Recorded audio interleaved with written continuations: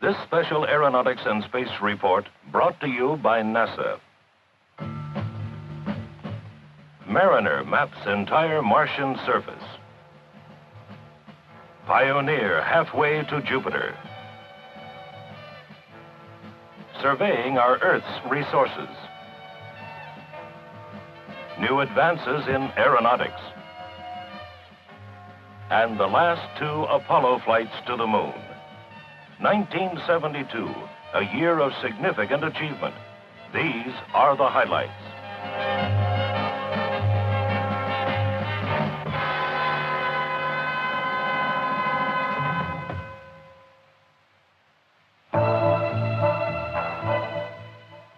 The mysterious red planet Mars is not nearly as puzzling as it used to be, thanks to this spacecraft, Mariner 9.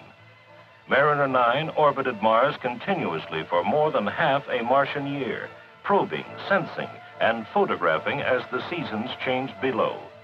These are some of the things we've learned. Mars has been geologically active with volcanic mountains there are indications that free-flowing water may have existed sometime in past Martian history. Observed from above were huge impact craters and wind-blown dunes. The more than 7,000 pictures returned by Mariner have enabled scientists to map the entire Martian surface and pinpoint landing sites for the unmanned Vikings scheduled to soft land there in 1976. Jupiter, a thousand times larger than Earth, distinguished by glowing yellow-orange and blue-gray stripes. It appears to have its own internal energy source and is so massive that it is almost a small star. We launched a spacecraft toward Jupiter. Called Pioneer 10, it's still a quarter of a billion miles away from this largest planet in our solar system. As it flies by Jupiter in late 1973, its cameras and sensors will return the first pictures and data ever recorded at such a close range. This is what the orbiting astronomical observatory named Copernicus looked like before it was launched last August.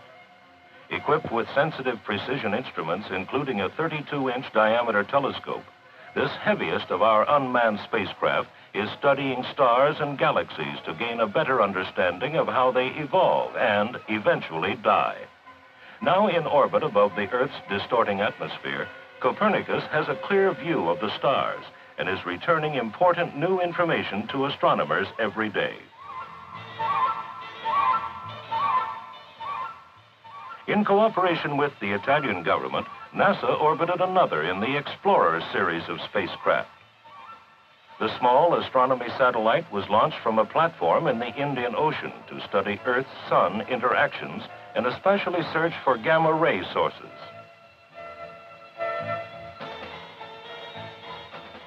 Eighty-four sounding rockets were launched from NASA's Wallops Island Station in Virginia and other sites with payloads to study phenomena affecting the Earth's atmosphere.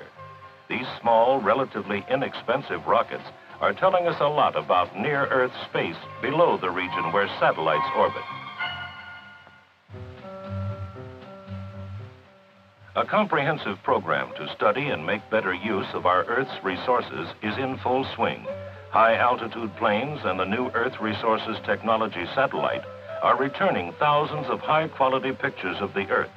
As a result, scientists hope to better understand our planet, its forests, crops, geology, and pollution.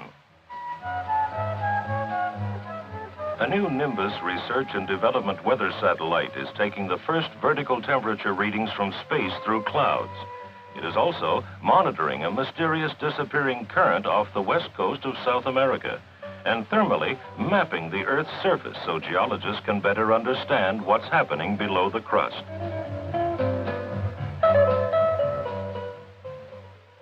Two commercial communication satellites were launched for the Communications Satellite Corporation, adding new telephone and television channels. Both craft become part of the global communications satellite network. The A in NASA stands for aeronautics, with a wide range of projects underway. For example, This airplane is equipped with a digital computer that was developed for the flight control system of the Apollo lunar lander.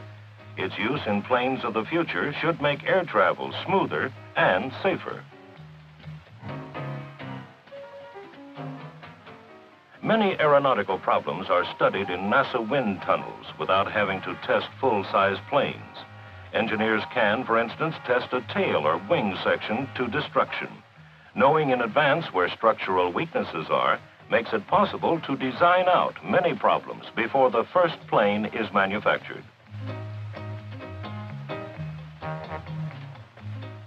To help relieve airport congestion, NASA is test flying short takeoff and landing planes like this one.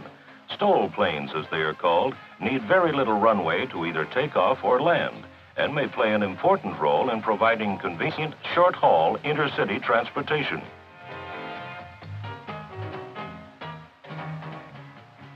Research is continuing to make presently operating commercial jet aircraft engines quieter and also to develop the technology for a new, quieter engine. Less noisy takeoff and landing procedures are another area of study. Much of this work is being done by NASA's Lewis Research Center in Cleveland and the Ames Research Center near San Francisco.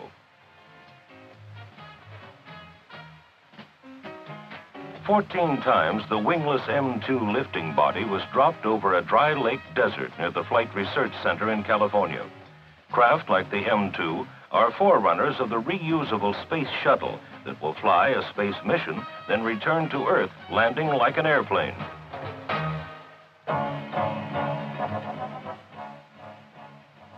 During his visit to Russia, President Nixon signed an agreement with Chairman Kosygin of the USSR to conduct an Earth orbital rendezvous and docking in 1975 between a U.S. and a Russian spacecraft. Engineers from both countries have already begun working out the details of the mission. To help pave the way for the longest Skylab mission next year, astronauts Crippen, Thornton, and Bobko spent 56 days locked in a 20-foot-long altitude chamber at the Manned Spacecraft Center, Houston. The purpose was to collect medical data, which can be compared with that collected from the real Skylab flights. Skylab crew training and spacecraft assembly and testing is also well underway. Skylab will be this country's first space station. It will be used as a platform to study the sun, the earth, and man himself.